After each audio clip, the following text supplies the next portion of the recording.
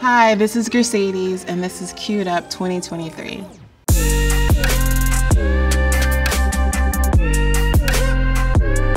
I think I've always had like an inner tiger inside of me since I was a kid. I wanted to incorporate some sort of a animal sound in my name, and so I think I came up with it back in like 2012, and I'm Grrrcedes.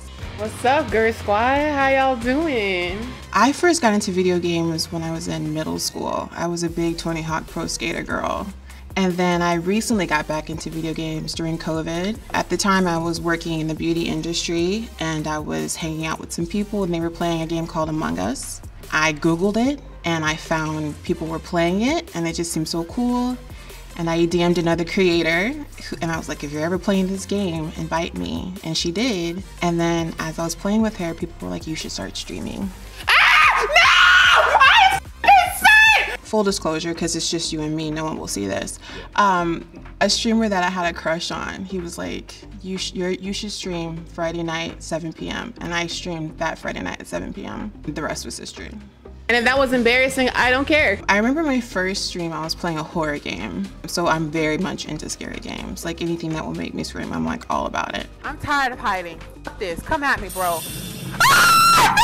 Don't come at me! Don't come at me! I was joking! I was joking! I just remember people were coming in and subscribing and donating, and it was just the most insane thing because I was like, no one is gonna come to my stream.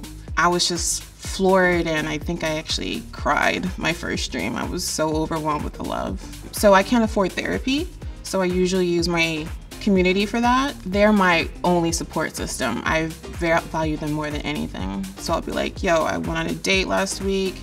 They refused to share their food with me. Like it's an issue. I have no sense of privacy. Um, so that's a huge part of my stream is people just want to know what's going on with me. Another part is talking about what's going on in like pop culture. Like, did you see what Kanye just did? Like, you know, like the Cheesecake Factory thing. I have no problem going to Cheesecake Factory. Just putting that out there. It's about Mercedes only. F them.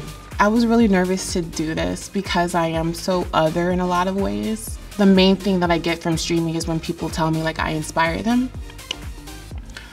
I'm not gonna cry, this makeup is not no but yeah, there's a lot of people who are depressed and sad and they'll say stuff like, your stream was like the highlight of my day.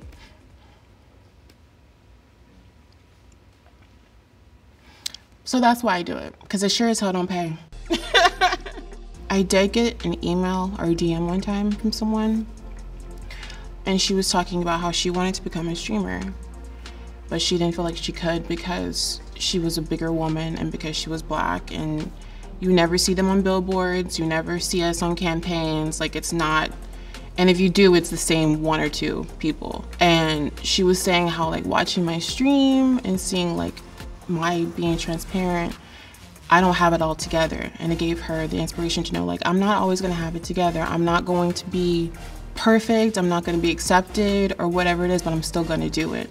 And like that was the mentality that I had when I started this. And so when you don't have like that role model on one hand, it's really scary because you haven't seen it be done.